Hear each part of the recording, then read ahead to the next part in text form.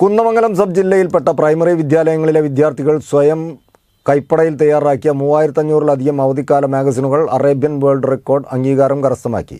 കുഞ്ഞെഴുത്തിന്റെ മധുരം എന്ന പേരിൽ തയ്യാറാക്കിയ മാഗസിനുകൾ വിദ്യാർത്ഥികളുടെ നേർ അനുഭവങ്ങളും സർഗസിദ്ധികളും കോർത്തിണക്കിയ മികച്ച രചനകളായി. കുന്നമംഗലത്ത് വിദ്യാർത്ഥികളുടെ സാന്നിധ്യത്തിൽ നടന്ന ചടങ്ങിൽ advocate P T A Raheem M L എയിൽ നിന്ന് ഉപജില്ലാ വിദ്യാഭ്യാസ ഓഫീസർ കെ ജെ പോൾ അംഗീകാരപത്രം ഏറ്റുവാങ്ങി.